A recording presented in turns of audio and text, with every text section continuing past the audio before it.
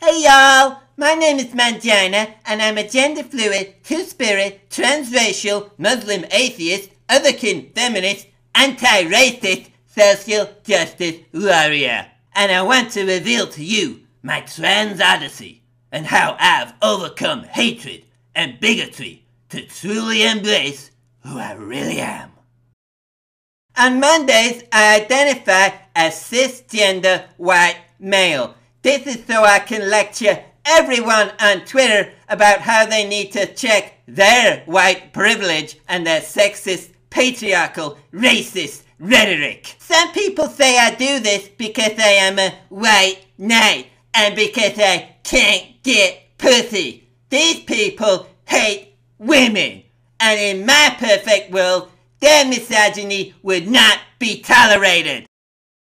On Tuesdays, I identify as transracial, just like my heroine, Rachel Dolezal. Hey Rachel!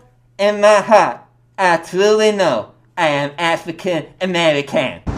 My nigga. Being transracial on Tuesdays has really come in handy when applying for educational or job positions because of all the wonderful opportunities offered to minority groups. Some people claim that just because I was born white, with white ancestors stretching back four centuries, that this means I am engaging in cultural appropriation. Are you African American?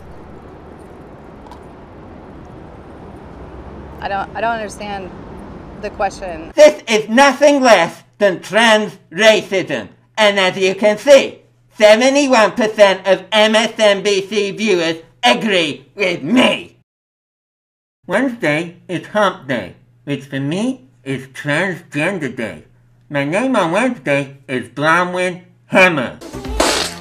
What pisses me off about Wednesdays is that people fail to address me by my proper pronoun, which are, depending on my mood, Z, G, they, and son. This is nothing less than transphobia. Oh well, just call me Bronwyn. And we're gonna change the world. On Thursdays, I identify as trans-able. Just like transgenders, trans-able people are trapped inside the wrong body. That's why we want to hack off our limbs and become disabled. As you can see, I started with my ear. Trans-abled phobes say this is a mental illness, which is just another example of the hatred and bigotry that trans people have to endure. But hey, finding a parking space on Thursdays is real easy. On Fridays, I identify as trans obese. I fully embrace the body positivity movement. Hateful people say that morbid obesity shouldn't be promoted because it's directly linked with horrible illnesses and premature death. This is nothing more than fat shaming, the thin-centric conspiracy that seeks to oppress and reinforce patriarchal beauty standards on behalf of the fashion and cosmetics industry. My heroine is Whitney Way Thore. Hey, Whitney! There's PC terms for everything these days, but fat people are fair game. Someone has to fight for us. I'm even hoping that someone will be mean to me so they'll throw a huge party in my honor, sending the loving message to all obese people that heart attacks, strokes, and diabetes can be trendy too. On the weekends, I like to express my true identity as otherkin or trans species. Saturday is duck day. I like to go to the park and play with the other ducks, but the children are frightened of me.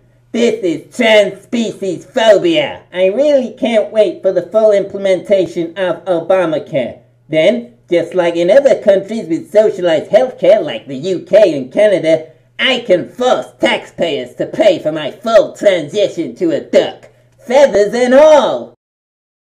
On Sundays, I am proudly trans hippo. Just as in human society, the other hippos reject me. But that's okay because I know I truly am, in my heart, on Sundays anyway, a hippopotamus. So that's my trans odyssey. I hope you enjoyed it, and I hope other people within the trans community can take heart from my courage and bravery. Please leave your comments below. However, if you don't totally agree with and fully embrace every facet of my lifestyle, I will publicly shame you, have your account shut down, and get you fired from your job. That's tolerance. Bye, y'all.